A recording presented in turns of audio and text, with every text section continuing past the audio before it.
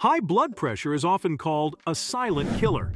It can damage your heart, kidneys, and other organs without you even knowing it. It is a common condition that affects millions of people worldwide.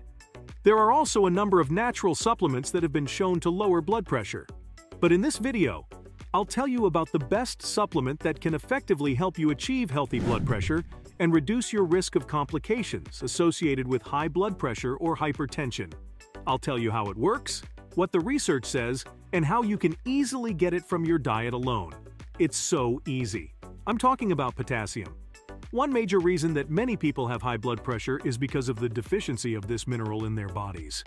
In fact, a study published in the Journal of Nutrition in 2017 showed that only about 2.8% of U.S. adults met the daily recommended intake for potassium. World Health Organization recommends a daily intake of at least 3.5 grams of potassium for adults. However, most people, especially in the US, feed on more fast food items and processed foods, which usually have very low amounts of potassium and too much sodium. Now, having more sodium and less potassium in the body is another bad thing that contributes to the development of high blood pressure. Sodium, as you may already know, comes from table salt, and fast foods and many processed foods are often loaded with high amounts of salt. When you eat too much salt, your body retains water. This extra water can increase the volume of blood in your body, which can put extra strain on your heart and blood vessels, leading to high blood pressure. And you know that the recommended daily intake of sodium for adults is 2.3 grams or just 1 teaspoon. However, many people consume much more than this. It is estimated that the average American consumes about 3.4 grams of sodium per day, or roughly 1.5 teaspoons of salt. This may not seem like a lot of salt, but it actually makes a lot of difference. In simple words, it's because when you have too much sodium, your kidneys try to get rid of it.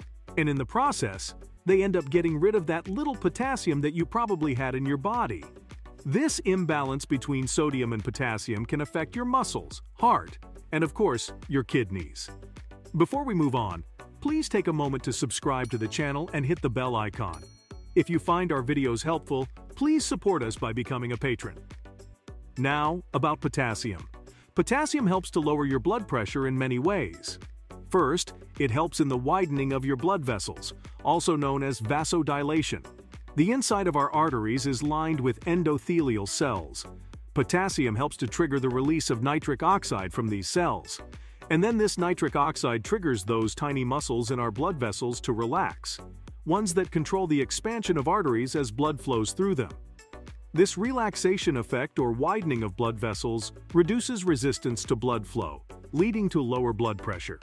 Not just that, potassium also helps to regulate sodium levels in our body, just like too much sodium pushes the potassium out of the body. Eventually, it's all about balance. And that balance lies in 2.3 grams of sodium and 3.5 grams of potassium per day.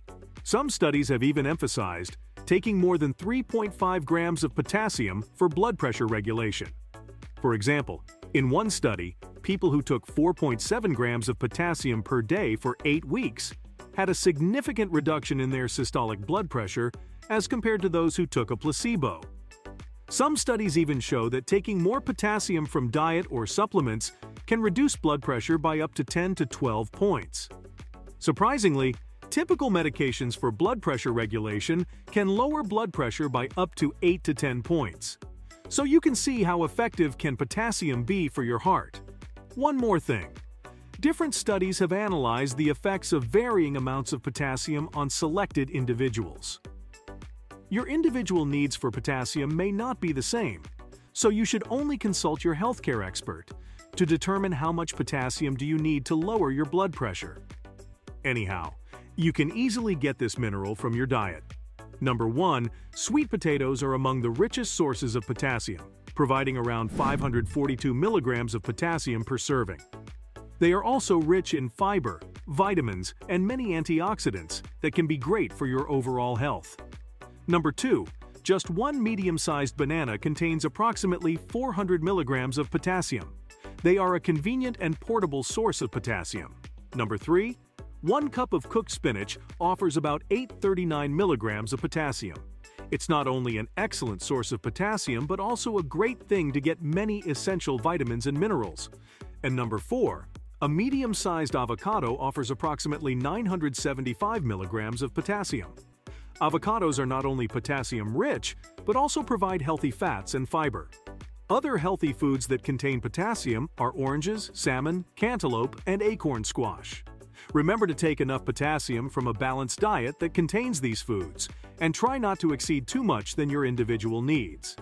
Thank you for watching and subscribing to the channel. See you in the next video.